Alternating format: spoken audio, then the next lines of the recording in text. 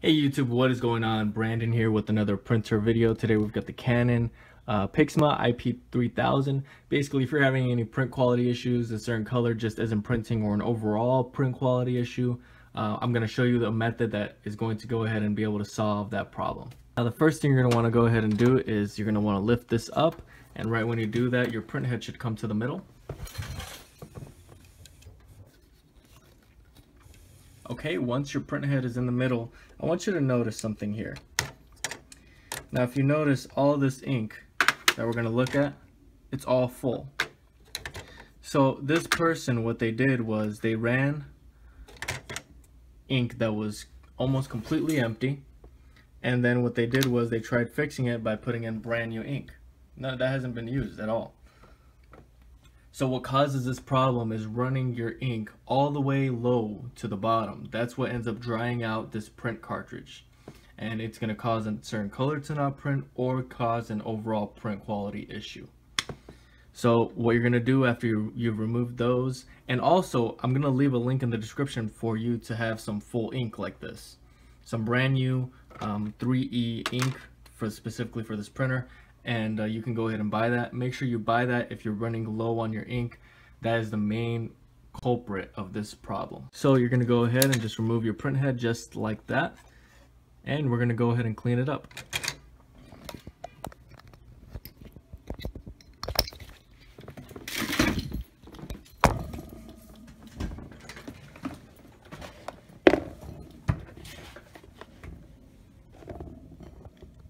Okay, so you're gonna wanna have it in a container just like this. All right, so once you have it here in this container, you're gonna wanna have a cleaning kit. It's gonna include a syringe just like this. Now I'm gonna include this cleaning kit in the description below so you can go ahead and buy that. Very inexpensive, I highly recommend that you, you go get that and it's gonna have fitments as well and some gloves for you to go ahead and use.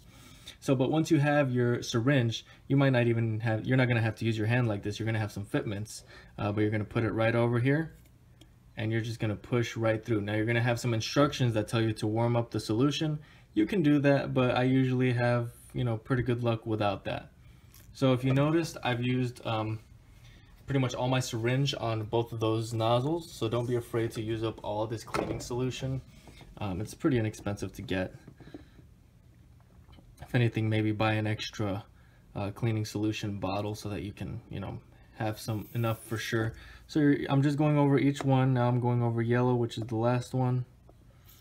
And if you notice here on the bottom, that's a bunch of ink that has just come out. That's exactly what you want it to be like. That's how it should look. So that's really all there is to it. Um, you can do that multiple times and I, I, highly recommend that you do it multiple times so that it really gets cleaned out and that's really just going to clean whatever is clogged up in there. Then you're going to go ahead and dry this up and we're ready to put it back. Okay, so then we're gonna go ahead and put this back along with our brand new ink. Now, if this was low ink, I would not be putting this back. I would be waiting, even if I had to wait a few days for it to come in the mail, for my ink to come back. So if for whatever reason this ends up not working for you, you know, you end up having, you have an error code or whatever it is, this just doesn't work, um, I'm going to leave a link in the description below also for a printer just like this and a few other ones that use similar ink so that you can go ahead and do that. I'm also going to leave a link to the print head. Um, so I, am just giving you a lot of different options here. The first option is to try to, you know, fix it, clean it out.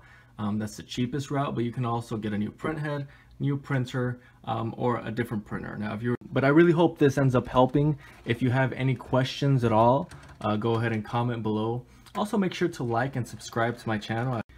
Thanks for watching and until next time.